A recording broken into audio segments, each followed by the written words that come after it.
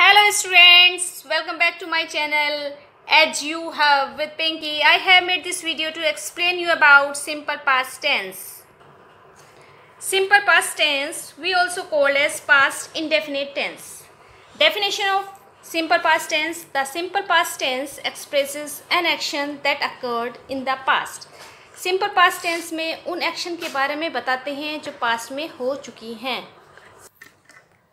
Let's take some example first example is I wrote to her last night मैंने उसे last night लिखा। तो wrote हमने इसमें सेकेंड फॉर्म का यूज़ किया है और ये कार्य पास्ट में हो चुका है। Second example is they called the plumber to repair the taps उसने प्लम्बर को बुलाया टैप रिपेयर करने के लिए। तो called is second form of verb और ये कार्य पास में हो चुका है। Children I told you in tense three kinds of sentences declarative sentence negative sentence and interrogative sentence so first of all I explain you about declarative sentence declarative sentence we also called as affirmative sentence. The structure of declarative sentence. Subject plus second form of verb plus object second form of verb will be used with all kind of subject singular or plural let us take some example first example is he wrote a letter उसने letter उसने एक letter लिखा ही singular subject wrote is second form of verb and letter is object second example is we sang a song हमने एक गाना गाया V is plural subject, sang is second form of verb and song is object. Negative sentence. The structure of negative sentence. Subject plus did not plus first form of verb and object. Subject can be singular and plural.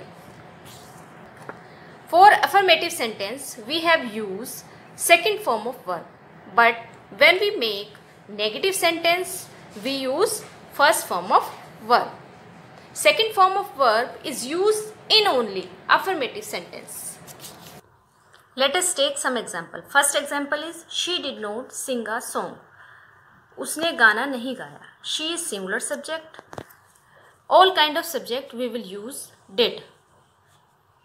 But in this sentence, we will use not to make negative sentence. Sing is first form of verb and song is object. Second example is you is plural subject. All, I repeat again, all kind of subject we will use did. We will use not to make negative sentence. It is first form of verb and food is object. Interrogative sentence. The structure of interrogative sentence. Did plus subject plus first form of verb plus object plus question mark. Subject can be singular और plural take some examples first example is did she come here क्या वह यहाँ आई? Before a subject we use did in interrogative sentence she is singular subject come is first form of work object is not compulsory in interrogative sentence if you don't put a question mark it does not look like a interrogative sentence Second example is, did you eat the food? क्या you eat the food? क्या तुमने खाना खाया? I remind you again, before a subject, we use did in interrogative sentence. You is plural subject eat is first form of verb and food is object. I remind you again if you don't put a question mark it does not look like a interrogative sentence. And thank you for watching my video and don't forget to like and subscribe my channel and share this video with your friends, sisters and brothers.